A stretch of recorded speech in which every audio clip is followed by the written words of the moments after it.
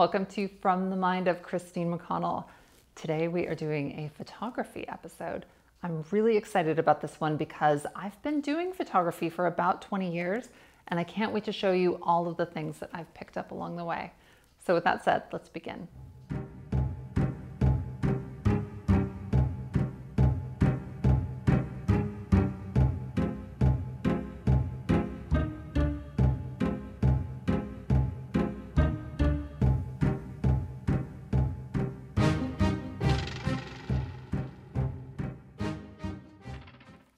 Talk about staging because this is a really important part of this process.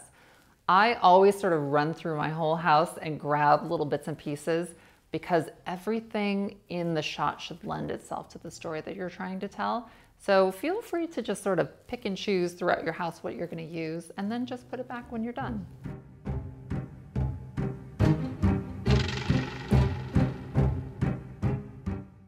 Funny side effect of doing this, by the way, is sometimes you find a much better place for something that's in your house.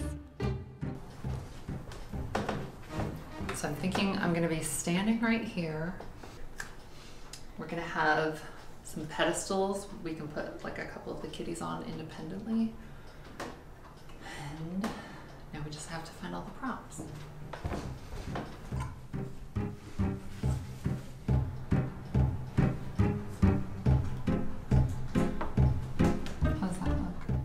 So the shape that we're filling in here is, it's gonna ultimately be a square. So all of the little areas that we're gonna be filling in need to sort of fit within um, that little area, if that makes sense.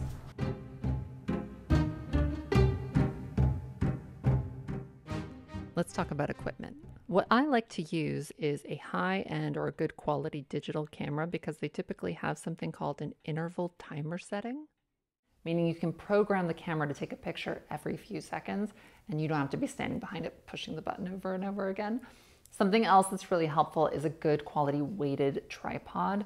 We're going to be doing something called a composite image, meaning we're going to be shooting something over a long period of time over and over and over again. And so I like to mark the floor where the tripod is resting with some masking tape in case for some reason I knock it I can easily put it right back and it's not going to interrupt the image.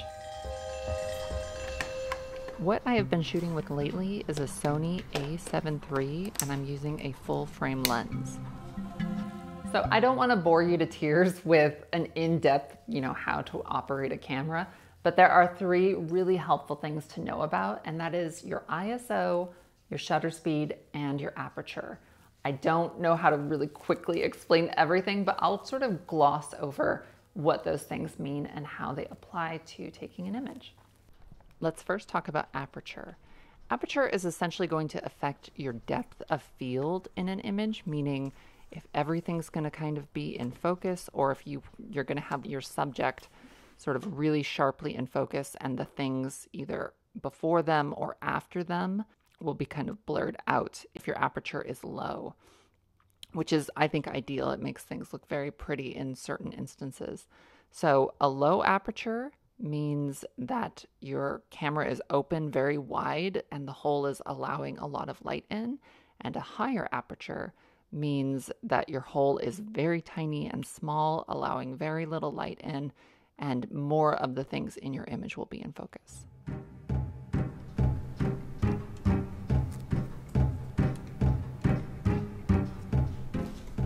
Now let's talk about ISO. The higher the number your ISO is means you can shoot in a lower lighting setting, meaning if you're in somewhere that's dim and you can't control the light, raising the ISO is going to allow you to shoot better in that setting. But if you go too high with that ISO, your image can end up being really grainy. So ultimately, the desirable effect is to have your ISO as low as possible and just light everything as well as you possibly can.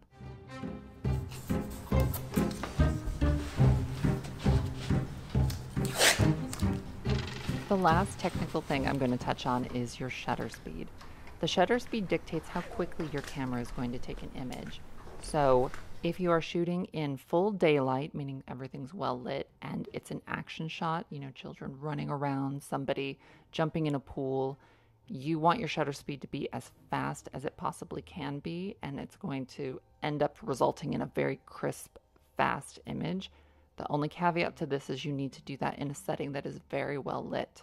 If you are in a dim setting where maybe you're doing a portrait, you want your subject to sit very still and you want your shutter speed to take a lot longer so it has more time to collect all of the details in the image. And you just don't want a subject that's moving because otherwise it can end up being blurry.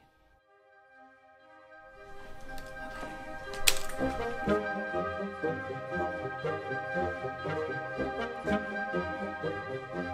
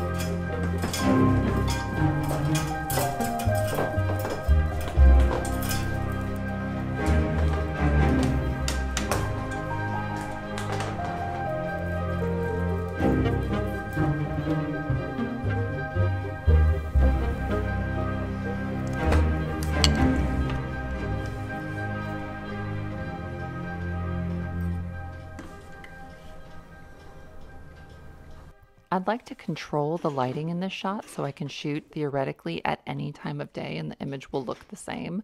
So when I do this, I like to block out all natural light that is coming in. In this house, I have the added benefit of most of the windows have shutters on them, but most people don't have that. And so what I like to do is on a large window or door, if there are little brackets at the top for like a curtain rod, it's very nice to string some twine across that and lay like a heavy, dark piece of fabric over it.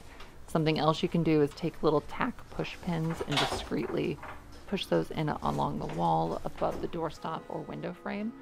And it's just a really sort of simple quick fix to eliminating excess light.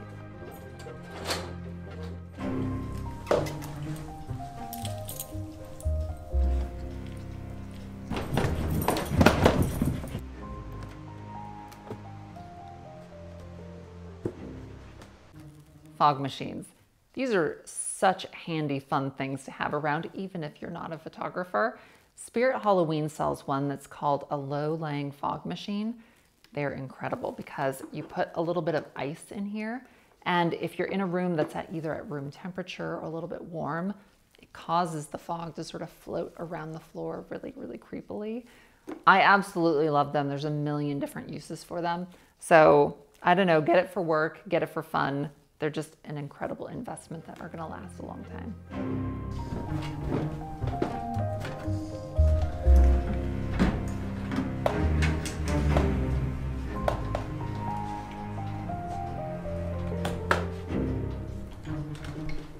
Let's talk about lighting. Of all of the things I'm ever going to show you, this bit of information is going to be so valuable to you. If you are shooting yourself, Go through your house and find a fluorescent light bulb and find an incandescent light bulb, which is what this is. Put a fluorescent light bulb over your skin and look at what it does to you. And then look at what an incandescent light bulb does. Incandescent light is soft and buttery on your skin and it diffuses things a little bit, especially in photos. Fluorescent is really great for bug lights, making things look terrible and saving you money on energy. So, which, you know, I love doing things for the planet. I want to be the best person I possibly can be. Just don't make me look uglier. So, I don't have any fluorescent light in my house. I won't judge you if you do, but I really, really like incandescent light. If you are shooting yourself and you're on a little bit of a budget or you're just starting out, I really suggest going to like a Lowe's and finding these really inexpensive clamp lights with a large incandescent bulb and a dimmer. Buy kind of like a handful of them that you can set up around yourself Because obviously we're doing this professionally now, we use these. It is called, it's by Pixel. It's a GS1 and it's got like a like a screen on it that diffuses the light because this is LED and it is really effective. The reason I like them is because you can adjust everything really quickly within them and setup goes really, really fast with them. But if you know you're not constantly doing it for a business, this is a really, really great alternative.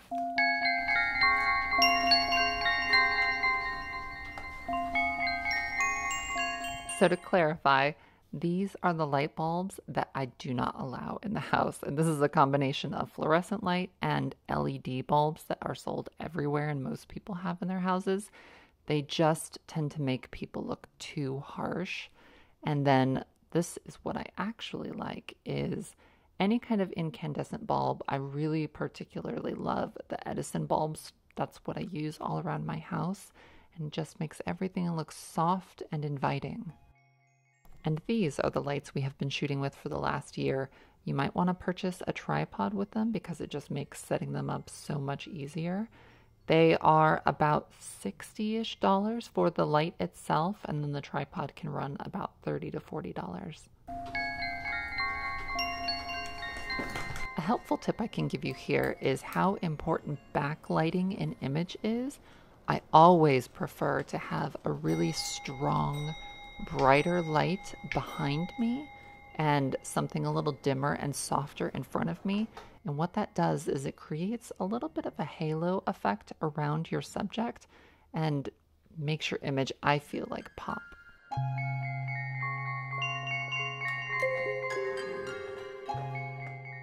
I always go back and reference like how the image is coming along, see how far I've come, and then just keep adding until everything feels like it looks how you want it to. This process is very fiddly and you just have to keep tweaking as you go.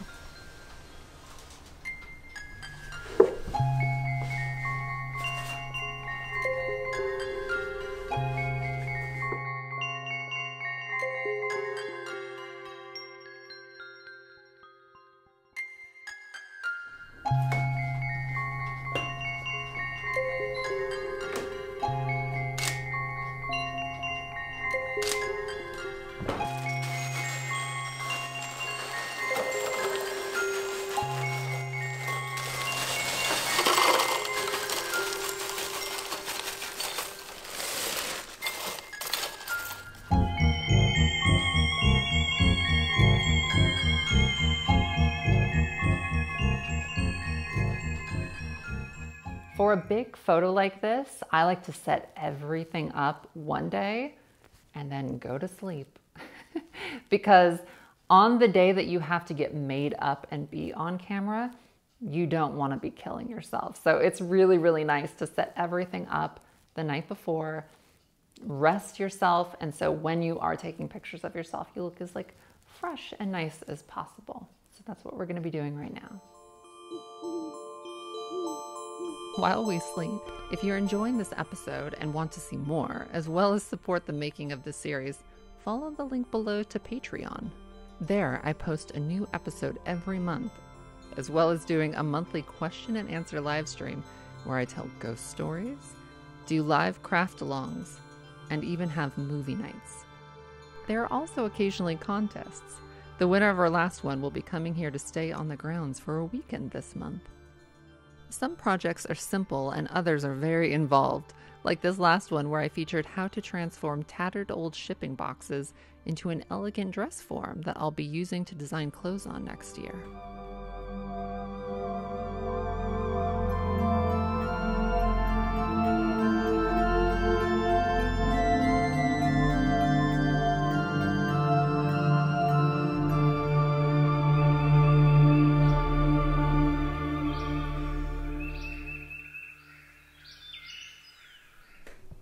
It's the next day, and now we are ready to shoot, and all I have to do is wake up some of the characters that are going to be in the shot.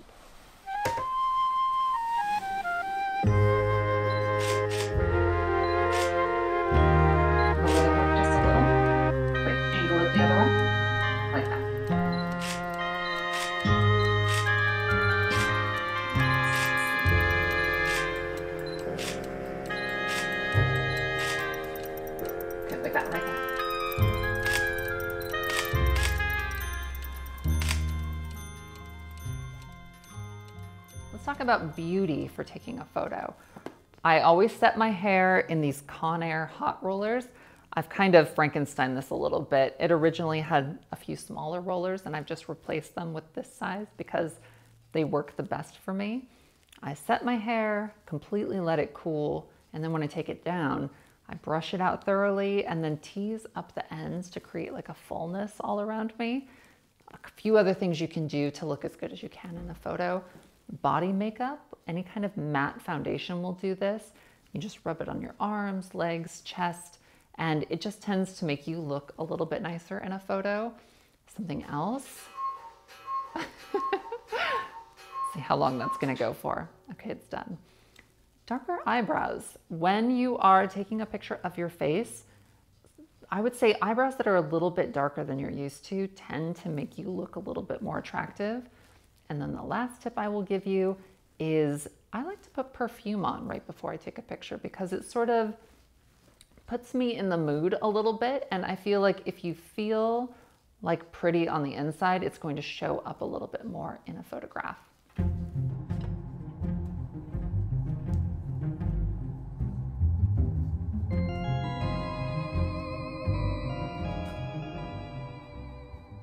These are the hot rollers I use, and I misspoke a little bit. The larger ones are the ones that I discarded, and the lavender ones are the ones that I use. To hold the rollers in place while they set, I use clips on the crown of my head and my temples, and then on the lower parts, I use these little prong things. I wrap my hair and allow it to totally cool and set.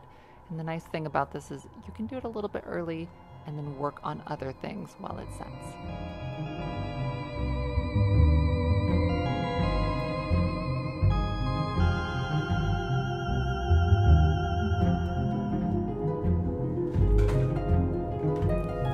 Trick I can tell you about is this thing called Lumify.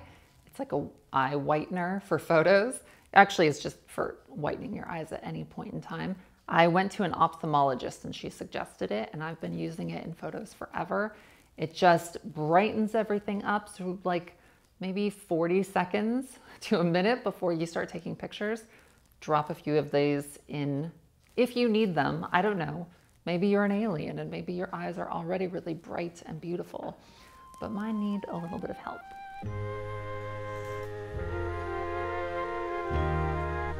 While my hair sets, I'm going to shoot one of my other little creatures in the meantime.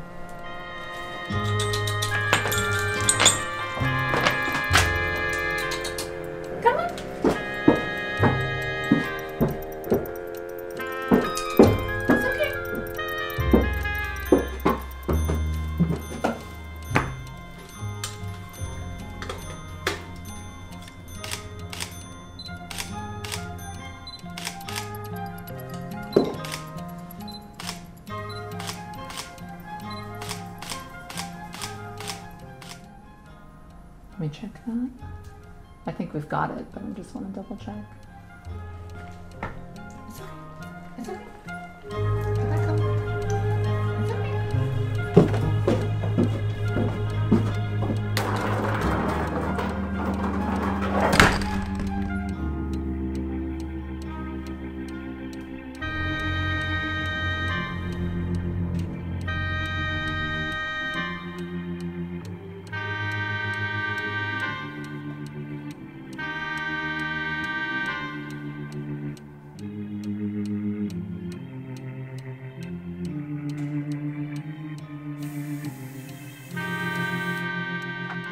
Find that a curl has set a little too tightly around my face, I like to take a roll brush and a blow dryer and soften it just a little bit.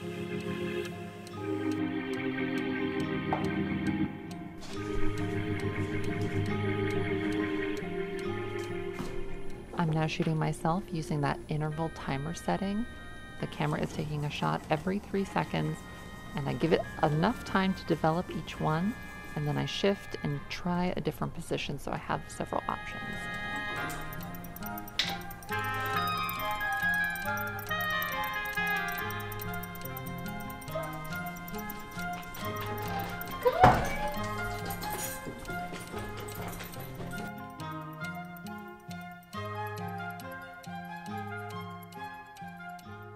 Now let's discuss pet photography. This is one of those really, it can be a very frustrating process and you kind of just have to work with whatever comes of it. You don't want to do anything scary if you're going to have your pets in the shot. So the fog machines all have to be shut off. Anything that's going to produce anything that, you know, causes anxiety in them, you want to eliminate. Something else is you don't want to force them ever into a position or anything like that because for one, it will show up in their face. And for two, they'll just get angry and it'll just, it will be unpleasant. They're not going to like it. You're not going to like it. One big thing is don't ever obviously do anything that puts your pet in jeopardy trying to take a picture. Always really be mindful of their safety and making sure that anything you're doing, they're going to be okay with. And just a lot of patience, toys, making funny sounds, graham crackers, if you're Mr. Poof. Um, just basically take your time and know that you can work really hard and maybe you're not going to get the shot you sort of envisioned, but just kind of work with whatever you end up getting.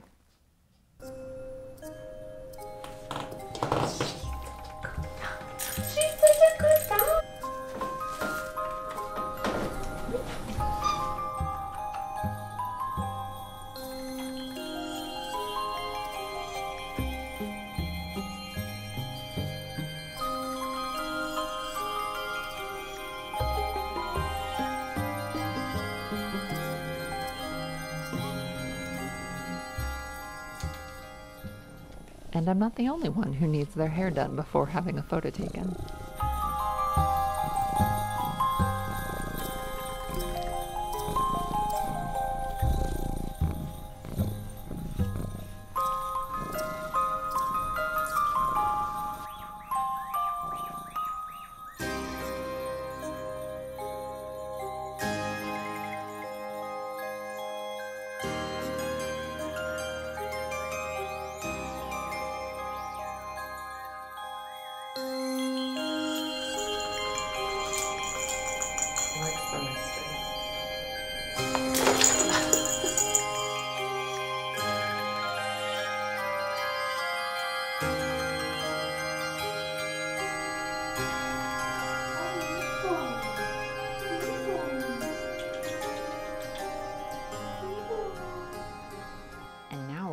Into something I absolutely love and is so controversial photoshopping.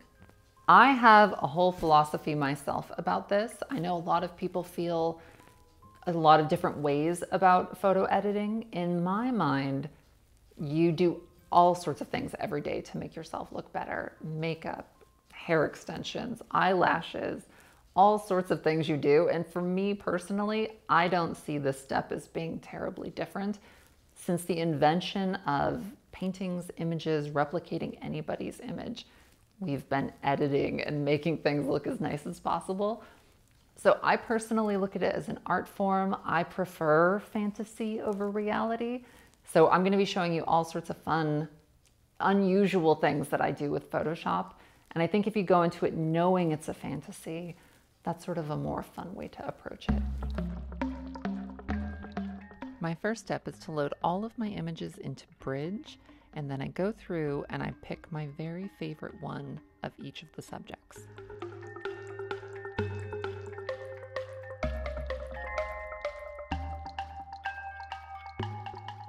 Once I'm ready to start compositing characters, I will copy one image and paste that over onto my master file, then create a layer mask and using the paintbrush, I will begin to incorporate just the parts that I want to add.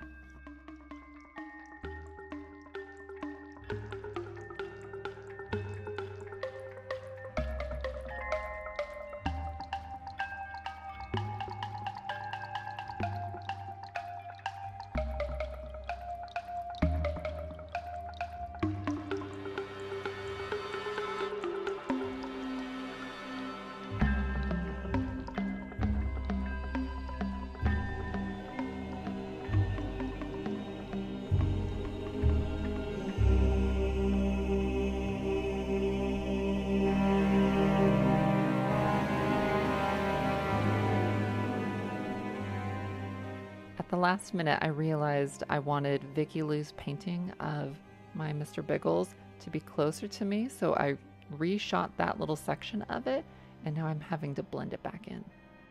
So here's something fun I can show you. My captive is six feet tall, but I want him to be a little closer to lurch height, so I'm going to be extending him to be about seven feet tall.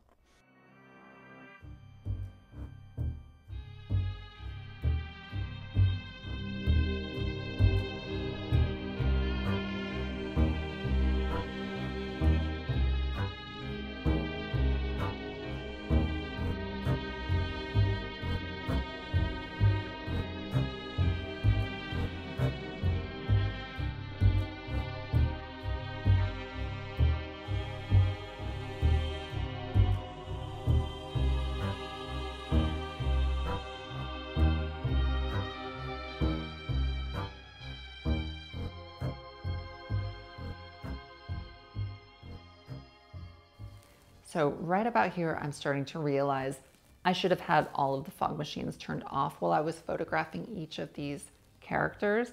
And now it's causing me this issue of, you know, merging them all together. It's fixable. And just so you know, I make, I make mistakes all the time when I do photography and I do this composite work. The one thing I will tell you is when you do mess up, it's usually an opportunity to like get better at working with this program because it is a really complex program that you spend. I spent years learning how to use Photoshop, and I bet there's still tons I don't even know about. So sometimes a mistake ends up giving you the opportunity to learn how to use the software a little bit better.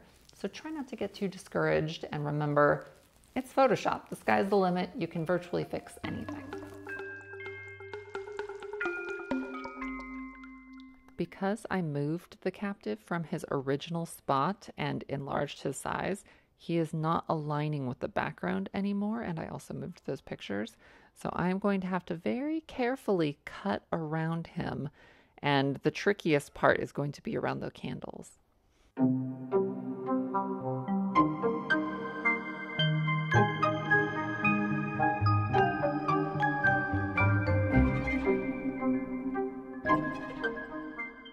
Ultimately realized that he needed a more dashing looking head, so I gave him a bit of a transplant.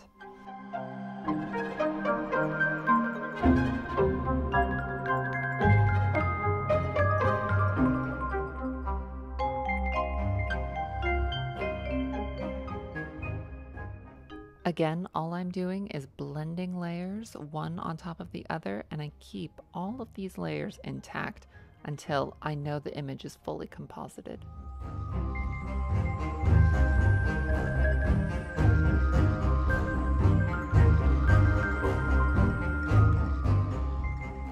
All of my initial passes in blending a layer are usually very rough and then I keep going over the image and just refining it as I go each time.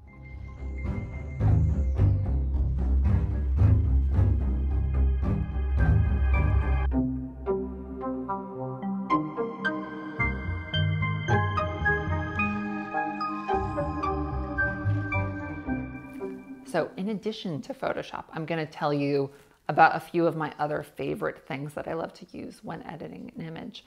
I always use Lightroom right at the end of the photo, and this is a great opportunity you'll see to blend the colors, shift them any which way that you possibly want, and then also create like gradients and things like that within the image, sharpen, soften, whatever you want.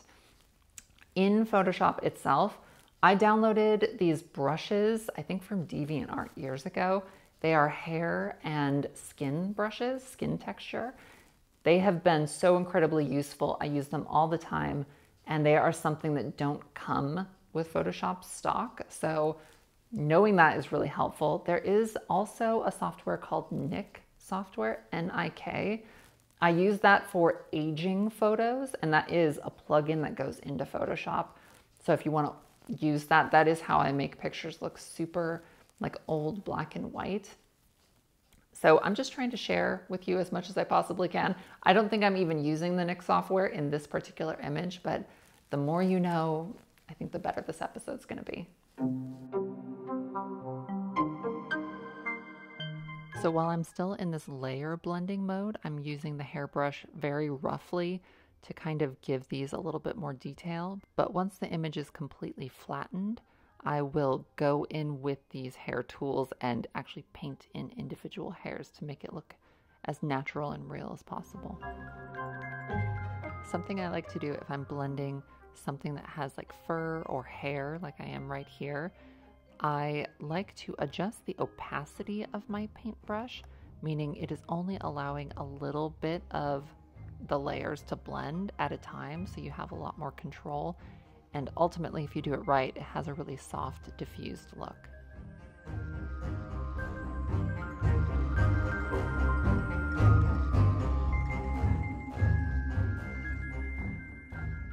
Also, just so you know, this is sped up like 400%, so it does not go this fast normally.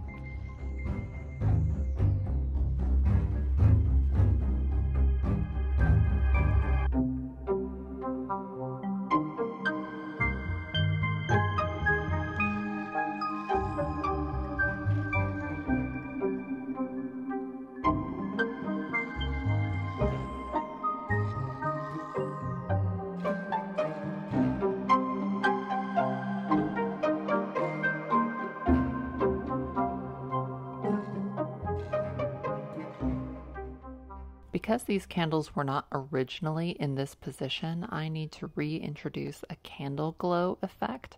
And so what I'm doing is pulling a little snippet of a candle from another image and bringing it in here. And I'm going to very softly blend just a little bit to give it a little bit of a glow and warmth. Now to go in and start reintroducing that fog that I had shot.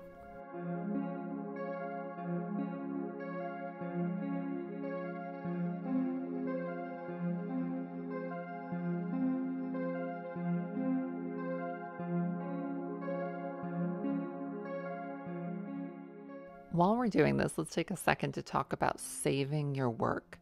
Oh my gosh, I cannot stress it enough. Every five minutes, you should be saving your work because it's incredible how much you can accomplish in, let's say, 15 minutes. And if you lose that because the program decides to shut down, you will be so frustrated. So I try to remember every five minutes to save my work.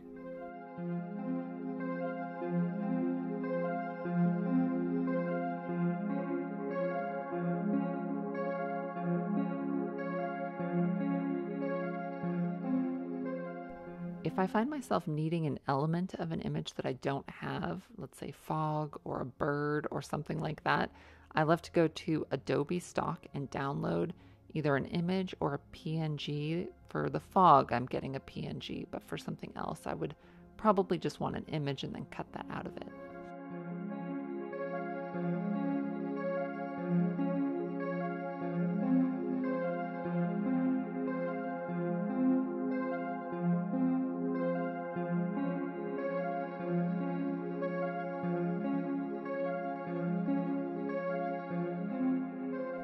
Now ironing my dress using the erase tool to take out any sharp, crisp, hard lines, and then going over with a skin texture brush to gently soften everything while not completely removing the shadows and highlights.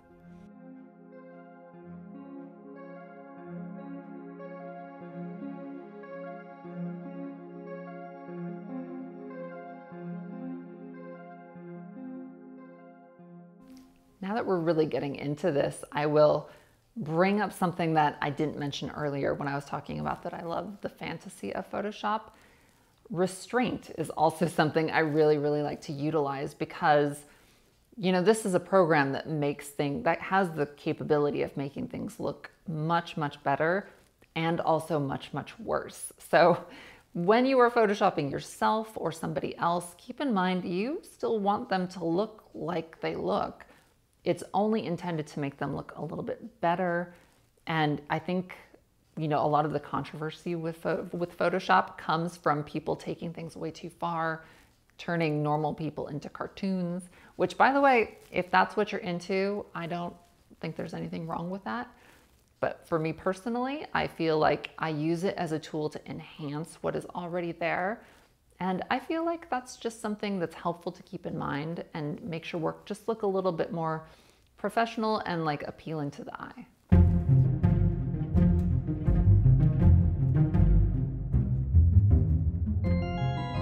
And now I am going to completely change the color of my dress. And the way that I'm doing this is I have composited everything I want to, flattened the image, and now I'm going to duplicate that copy, change the color of that. I'm going to take out all of the saturation, add the color that I want, and then just like we did with the compositing, I'm going to composite on this layer of color.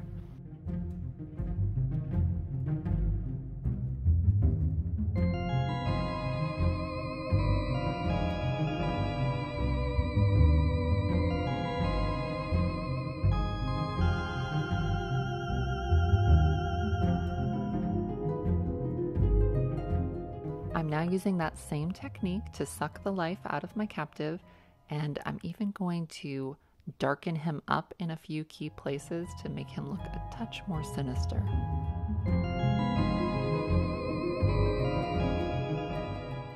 Here I'm using the burn tool to darken and create these like spooky looking veins. So the burn tool darkens things and the dodge tool lightens things. And these are tools you will find right over on the left hand side of your tool set. And now it is time to start editing myself.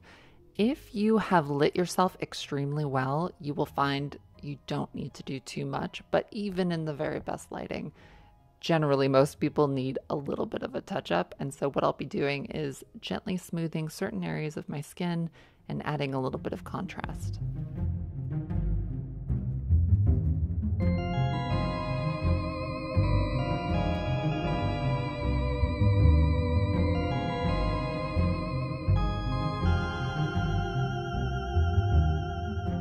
When it comes to storytelling photography, I kind of feel like there is no detail too small not to be addressed. And so I always like to go over the entire image and just embellish anything I feel like would benefit from it.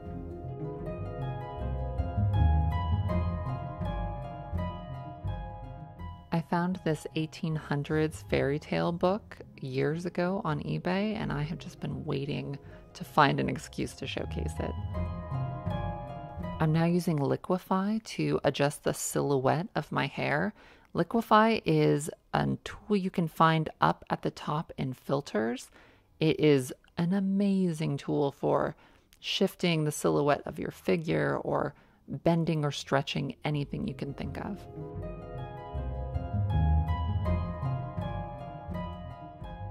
Here I'm using the Dodge tool to brighten up the highlights of my hair.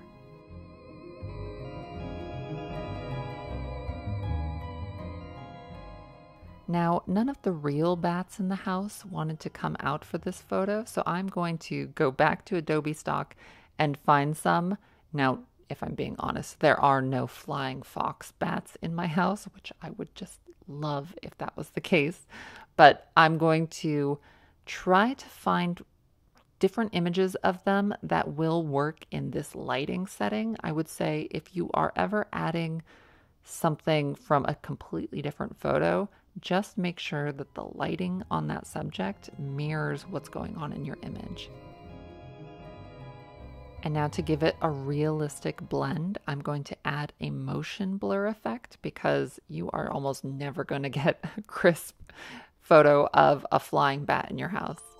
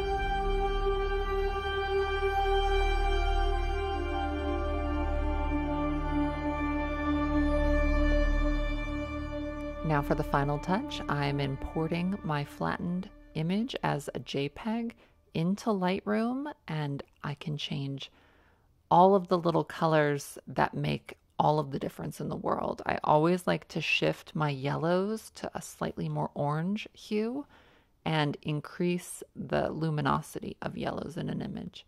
And I also like to add a little bit of a creeping in vignette around a picture.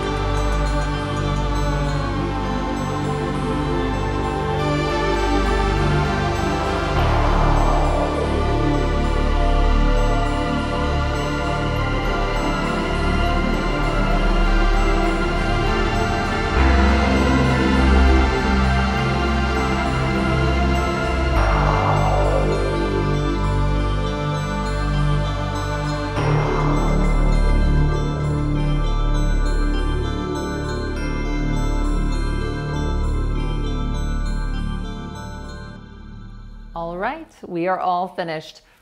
I absolutely love how this turned out. It's one of those things, I know it's a massive amount of work to do, but the reward I feel is absolutely worth it. I have plans for doing future photography episodes just because there's still so much that I didn't even cover here. I would love to feature beauty photography. And then also, I don't know if there's a way that we could possibly do an episode specifically for Photoshop that maybe we can do it in a live stream format and we can just sit together for an entire day and go through the whole thing and I can answer every single question about how I do every little aspect of it. So look forward to all of the fun things that are going to be coming from that. And in the meantime, take care of yourselves and I'll see you again very soon.